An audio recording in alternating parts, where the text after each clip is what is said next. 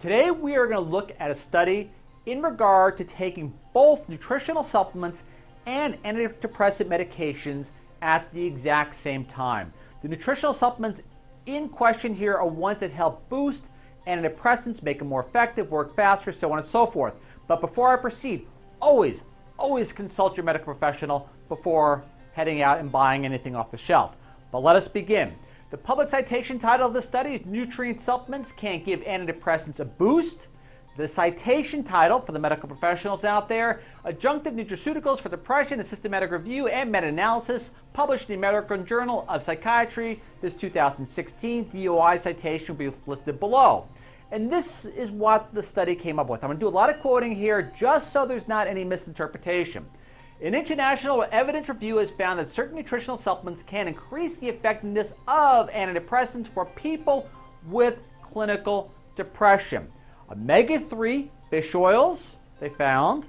S-adenosyl uh, methionine SAMe, they found worked well too. Methylfolate, now keep in mind it's the bioactive form of folic acid. Just don't buy any folic acid.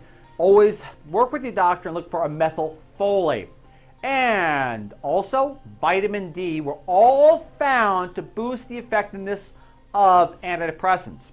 The strongest finding from our review, though, however, was omega 3 fish oils in combination with antidepressants, which they said had a statistically significant effect over placebo. To proceed forward, this is how they came up with their conclusion.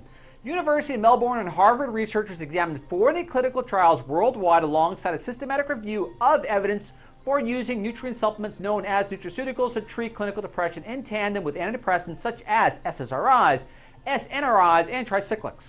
But I'm going to review also, I'll, re I'll repeat the supplements at the end of the video at the same time.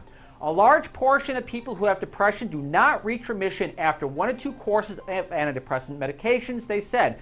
Millions of people, where the study was originally looked at was Australia, and hundreds of millions worldwide currently take antidepressants. There's real potential here to improve the mental health of people who have an inadequate response to them.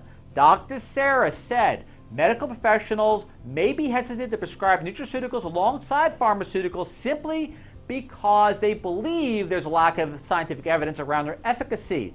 Medical practitioners are aware, believe it or not, of the benefits of omega 3 fatty acids, but are probably unaware that one can combine them with antidepressant medications for a potentially better outcome. That is their quote from the study, not mine. And to conclude, the researchers found no major safety concerns in combining the two therapies, but stressed that people on antidepressants should always consult, as we said, with their health professionals before health professionals before taking nutraceuticals and should be aware these supplements can differ in quality. So what they're trying to say is make sure you get the best if you work with your medical doctor and you want to try this out.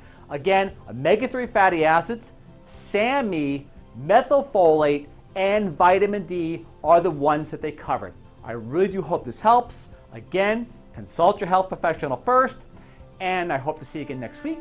And thank you very much, as always, for listening. See you next time.